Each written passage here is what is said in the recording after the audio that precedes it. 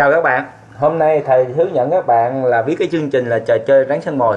Thì ở đây á, các bạn coi nè trò chơi rắn sân mồi của thầy á, là nó sẽ động viên nó sẽ à, bị chết. À, động viên bị chết nha. Thì ở đây á, thầy viết á, là mỗi lần ăn mồi á, là nó sẽ à, tăng lên một điểm. Thì ở đây thầy điều khiển bằng bốn cái nút ha. Thì mỗi lần nó ăn mồi thì nó sẽ dài ra.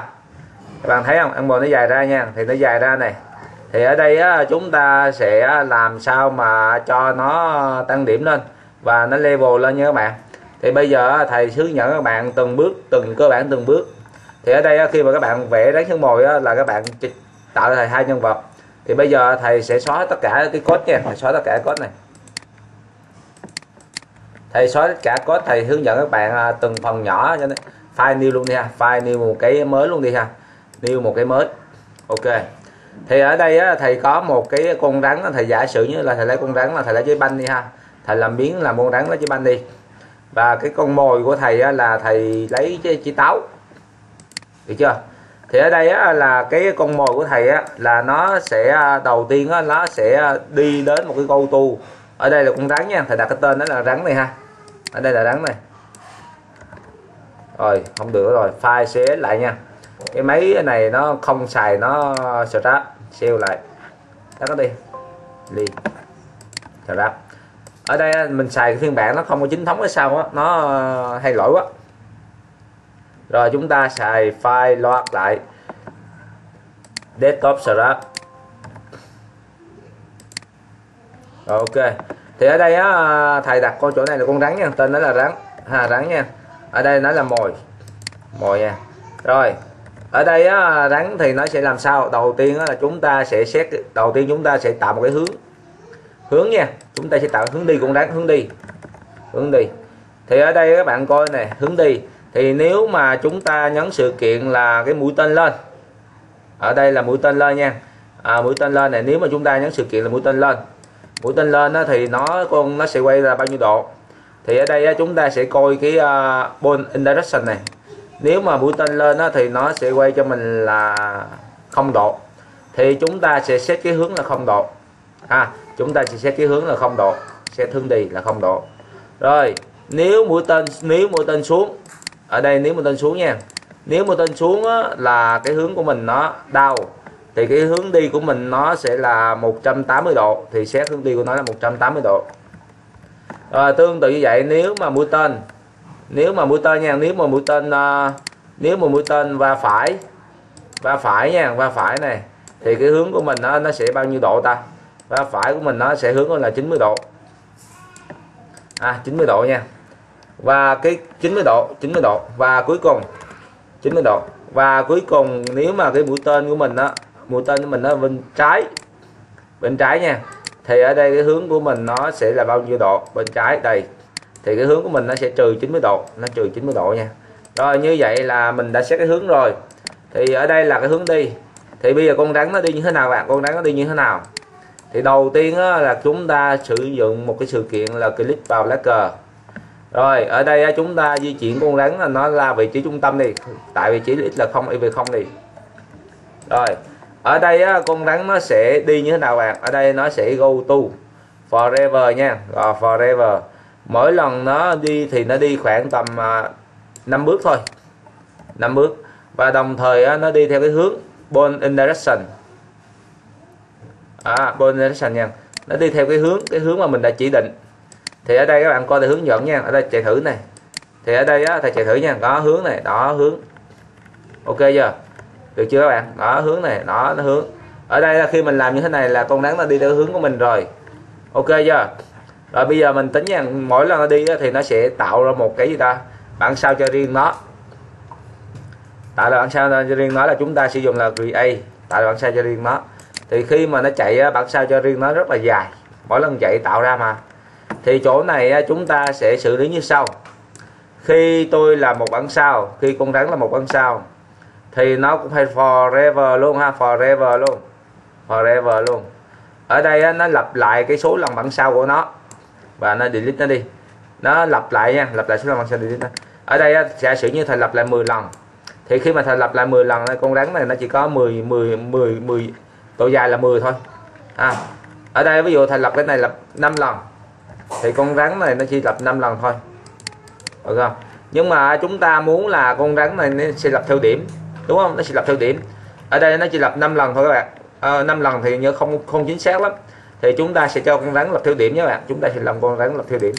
Thì chúng ta sẽ có một cái biến điểm ha. Một cái biến điểm đó là mắt mắt này chúng ta chưa điểm điểm số. Thì đầu tiên á, là lúc đầu chưa có gì á, là điểm nó bằng không. Chúng ta cho xét nó điểm bằng không. Được chưa? Thì ở đây chúng ta repeat về để chúng ta cho nó repeat theo cái điểm. Có nghĩa là điểm bằng không thì ờ, nó sẽ di chuyển một mà điểm cứ tăng mỗi lần tăng lên tăng lên á. Rồi ở đây nè các bạn. Ở đây nha chúng ta sẽ ngồi như thế nào? Ở đây chúng ta viết lại một cái uh, nếu mà nếu mà gì ta? Nếu mà cái thằng này á, con rắn mà nó đụng với gì ta? Đụng với ta cái gì? Ở đây and mu ha. Nếu mà con rắn mà for cũng forever luôn các bạn. Forever lặp lại mãi này ha. Ở đây forever forever đâu? Nếu mà con rắn đụng nếu mà con rắn đụng với trái táo ha nếu mà con rắn đụng trái táo là sen sinh mình cho nó túc chân này ha nếu mà nó đụng với trái táo là nó đụng với cái mồi thì điểm nó sẽ bao nhiêu đó? Điểm nó sẽ tăng lên một điểm. À, trên điểm này ha. Trên điểm lên một. Thì ở đây á, chúng ta chạy thử nha. Chúng ta chạy thử này ha. Chúng ta chạy thử này. Ở đây này điểm một. Ở đây á, là chỗ này là mỗi lần tăng đụng như không được. Ở chúng ta cho không được chúng ta cho chỗ khác. Ở đây này các bạn chúng ta khi tôi là một bản sao à, khi tôi là một sao nó nằm trong khi tôi là một sao nha. Khi tôi là một bản sao ở đây nếu mà nó nếu mà nếu mà nó đụng đụng với cái à, điểm thì nó sẽ cho nó tăng lên nha chạy thử này Ồ, ở đây cũng không được. Ở đây á, điểm nó sẽ tăng là à,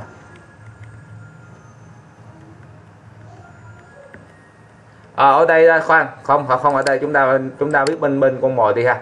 Chúng ta viết bên con mồi đi các bạn. Bỏ này đi. Chúng ta viết bên con mồi nha. Chúng ta để bình thường thôi. Được rồi chúng ta chạy lại. À chạy lại nha. Ở đây chúng ta chạy lại nè. Thì ở đây chúng ta sẽ viết bên con mồi đi các bạn ha thì ở đây á, khi nào khi nào con mồi nó sẽ khi nào nó sẽ tăng một điểm? Thì ở đây á, các bạn muốn cho nó là forever nha. Ở đây chúng ta cho nó forever này. À, chúng ta cho sự kiện click chuột này. Thì nó sẽ go to với một xy random nha. Go to random các bạn ha. Nó sẽ cho go to random. Được chưa? Nó sẽ go to với random. Rồi ở đây chúng ta phải cho, cho là forever. Forever đi ha forever. Ở đây nếu mà nếu mà nó đụng với con rắn à, nếu mà đụng con rắn nha nếu mà nó đụng con rắn này, túc này nè nếu mà đụng con rắn. À nó đụng con rắn nha, thì điểm nó sẽ tăng lên một điểm. Điểm tăng lên một nha, thì điểm nó tăng lên một nha bạn. Điểm tăng lên một, điểm sẽ tăng lên một, trên điểm là một này. Đồng thời nó sẽ đi tới một cái vị trí go to random chỗ khác. Nó đi tới vị trí go to random chỗ khác nha. Chị thử nha. Ở đây điểm không này, đụng tới con bò này. Ở điểm 1 2 thì khi mà nó chạy như thế này là 3 4 ha. Rồi bốn. Nhưng mà ở chỗ này con rắn nó sẽ chết khi nào? Khi nó sẽ đụng biên đúng không ạ? Khi con rắn đụng biên thì nó sẽ chết đúng không ạ? Khi nó đụng biên thì nó sẽ chết. Được chưa? Khi nó đụng biên thì nó sẽ chết. Thì bây giờ chúng ta nói này khi tôi là một bắn sao mà khi bạn sao của tôi đụng biên chúng ta vô đây luôn ha. Ở đây chúng ta viết trực tiếp trong đây luôn. À, hay là chúng ta viết riêng cũng được ha. Chúng ta viết riêng đi ha. Khi tôi là một bắn sao rồi khi tôi là một sao nha khi tôi là một con sao. Ở đây cũng forever luôn các bạn. À forever luôn lập forever luôn. Là forever. Ở đây à, nếu mà nó đụng biên ha nếu mà nó đụng biên ở đây là if. If. À nếu mà nó đụng biên nó nằm trong sensing ở đây nó đụng biên nha nếu mà nó đụng biên s thì nó sẽ ngừng tất cả. À, nó sẽ ngừng tất cả nha stop on. Chạy thử nha. Đó. thì ở đây à, một điểm hai chạy hai điểm này à. Thì khi mà nó đụng biên này nó ngừng tất cả này. Nhưng mà khi mà chúng ta viết con đánh như thế này các bạn chúng ta viết con đánh này này nó đụng biên nhưng mà thầy sợ là cái chỗ con cái mồi này nó xuất hiện quá xa. Thì chúng ta cho cái mồi này nó sẽ random nó random nha. Nhưng mà không phải random này. Chúng ta cho random ít đi à, chúng ta cho nó go to đi nha các bạn. Chúng ta cho go to đi mà go to đi chúng ta cho random ít đi các bạn. Chúng ta cho go to ít đi thành random này ha. Thì chúng ta cho thằng x này nó random thằng x nó random á, nó sẽ ở đây là 200 trừ 240 thì chúng ta nhớ là trừ trừ 2 220 được rồi. Đến 220 là nó nó tránh xa cái biên ra thay vì nó sát cái biên này chúng ta xa, xa biên ra nha. Tương tự như vậy y cũng vậy y cũng vậy y cũng chúng ta cũng cho random ha. Chúng ta cũng cho random y này ha. Y nó sẽ bằng là trừ 180 là cái ờ, cái ghi này thì chúng ta cho nó trừ 160 là được rồi trừ 165 và ở đây là 165 là chúng ta cho nó cho nó không có đụng biên lắm nha các bạn. Rồi sau khi chúng ta cho như thế này xong rồi chúng ta copy lệnh này này.